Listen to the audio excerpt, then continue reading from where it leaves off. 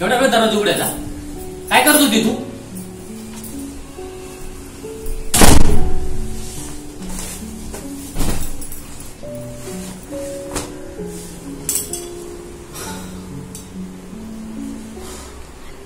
काय करत होती तू?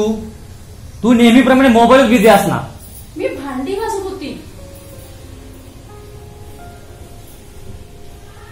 घ्या मोबाईल एकदा चेक करा म्हणजे समजेल तुम्हाला. काय नको? दुपारी किती वेळा कॉल करत असते? अहो तुम्ही जेवलात की नाही हे बघायला कॉल केला होता. अच्छा तू कॉल केला नाही तर मी जेवणार नाही असं आहे का? आणि किती वेळा तुला सांगितलंय? जर एखाद्याचा फोन बिझी आला तर हजार वेळा कॉल करायचा नाही. पण तुम्ही ऐकणार तर? काय झालंय तुम्हाला? नुसती चिडचिड तुमची. कधी प्रेमाने दोन शब्द चांगले बोलणार नाही. लग्न झालं तेव्हा सहा महिने फक्त तुम्ही छान बोललात. आणि आता? आता तर तीन वर्ष झालीत आपल्या लग्नाला. अजूनही तुम्ही तसेच? अच्छा मी मुद्दाम करतोय. अरे मजा येते मला असं करायला. आली मोठी मला शिकवायला. आमच्या डोक्यात एकच विचार असतो का? हजार विचार असतात आमच्या डोक्यात हजार विचार. तुला काय समजायचंय घरात बसल्या बसल्या ते? हो मला नाही समजणार घरात बसून. पण याचा त्रास आहे ना तुम्हालाही होतोय आणि आम्हा सर्वांनाही होतोय. बस बस. नको जास्त ज्ञान पाजळू. आता बाहेरचे लोक कमी ज्ञान देतात. आता तू घरात येऊन मला ते देणार आहेस जा मला जेवायला आण. अजून जेवण झालं नाहीये स्वयंपाक करायचंय. मला भूक लागलीये. काय असेल ते आण मोठी मला शिकवायला.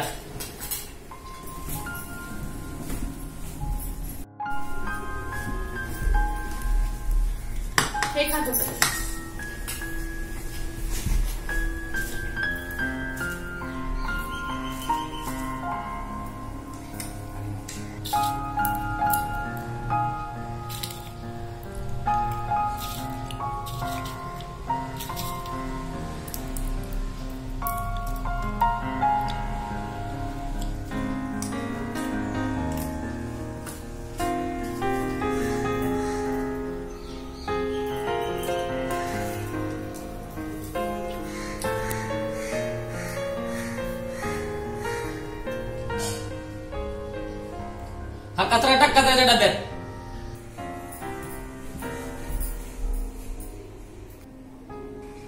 एक बोलू का? काय? हे कशाला ठेवलं? हे पण खायचं ना. अरे मूर्ख आहेस का तू?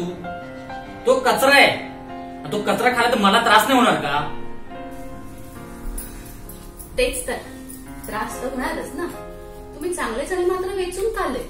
पण टरफलामुळे त्रास होईल म्हणून तुम्ही ती टाकून गेली तसंच तुम्ही जेव्हा बाहेर जाता तेव्हा बाहेरच्या चांगल्या गोष्टी फक्त मनात ठेवा ना.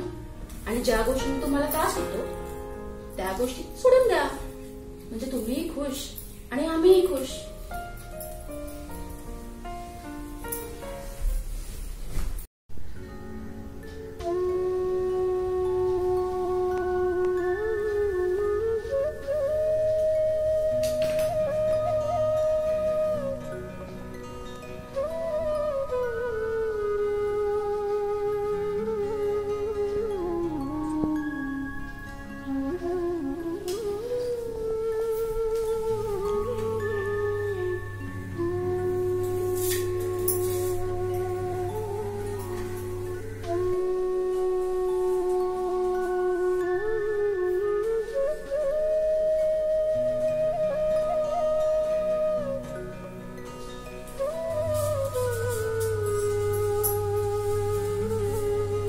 किती सोपे शब्द तुम्हाला समजून सांगितले.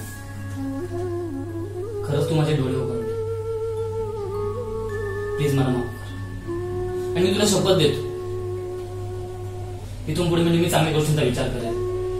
आणि ज्या गोष्टींना आपल्याला भांडणं तणाव निर्माण होतील ना अशा गोष्टींचा मी कधी विचार नाही करणार.